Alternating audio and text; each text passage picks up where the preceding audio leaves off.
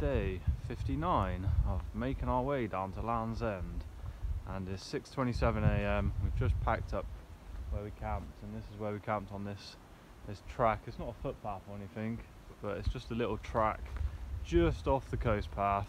Uh, so we're making our way along the North Devon cliffs along the southwest coast path towards uh, Hartland Point and then Hartland Quay and there's a pub there at Hartland Quay uh, which we're aiming for which is about eight miles away. And there was a lot of rain this morning um, but it seems to have eased up and today should be alright weather wise um, but yeah I had to pack the tent away it's soaking wet so hopefully we can get that out at some point and dry it.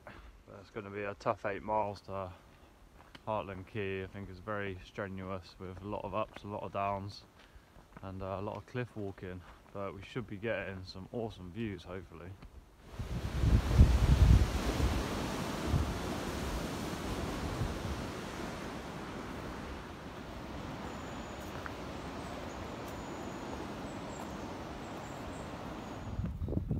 It's looking very grey up ahead and it's coming towards us.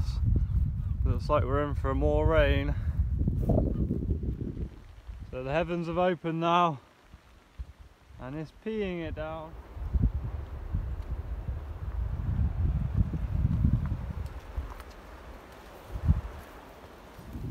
Awesome, they're doing wildflower margins along the farmers' fields and it looks really nice and it's good for the birds and the bees as well.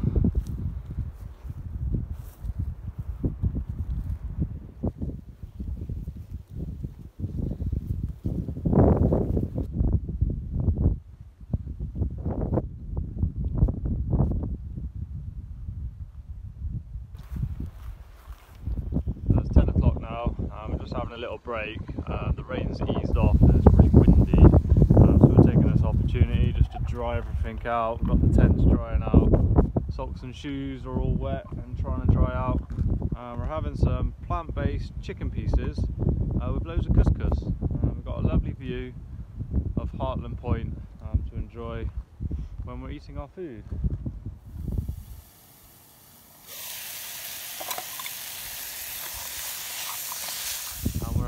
About three miles away from Hartland Quay where there's a pub and we'll probably go to the pub as well um, because all our stuff's getting low on power now. Uh, the sun hasn't been out for a few days so power banks are low phones are low just everything's running low on power. So we're struggling to keep everything charged at the moment. So when that happens we get in as many pubs as we can and get everything on charge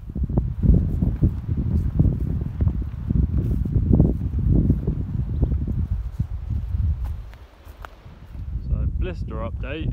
The big blister that I popped on my left foot in between my toes is doing alright.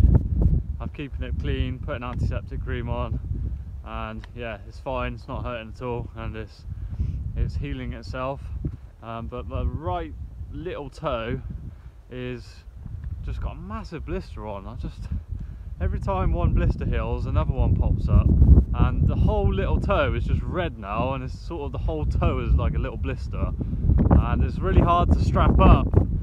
Um, but yeah that's the only thing I'm dealing with at the moment. Just one little blister on my little toe and it's really annoying. But hopefully it sorts itself out soon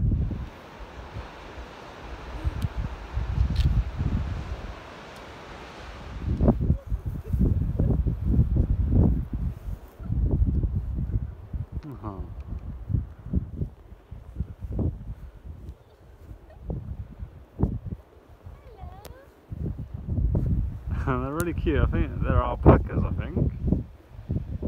There's a little baby one. A little baby alpaca.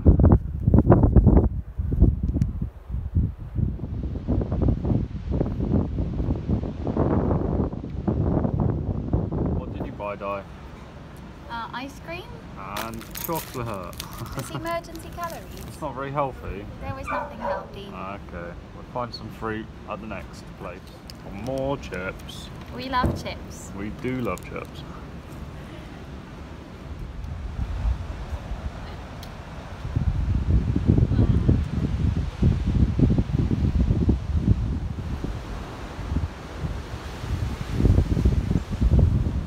It's three o'clock now. and we've only gone 8.6 miles. Uh, it's been really, really slow going today. It's really tough, really hilly. Um, but this coastline is stunning and the waves are just rolling in today and it's cleared up nicely. Uh, so we're just leaving Hartland Quay, which is basically just a pub, a tiny little shop and, and toilets. And we've got about 15 miles to go now down the coast to Bude and it's going to be really really tough it's one of the hardest sections on the coast path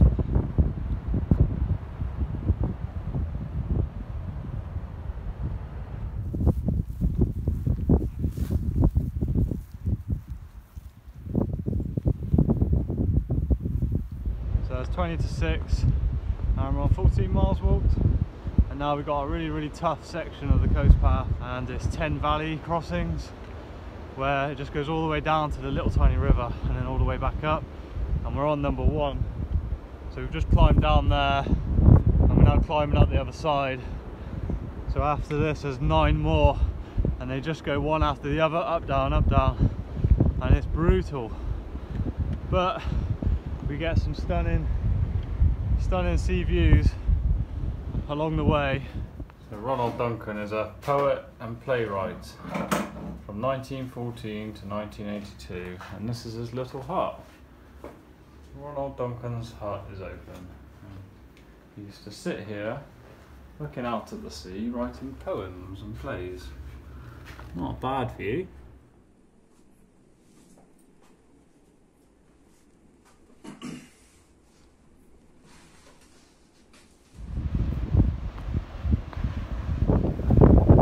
Just made it down Valley 5 and now we're climbing back up again along these tiny little switchbacks.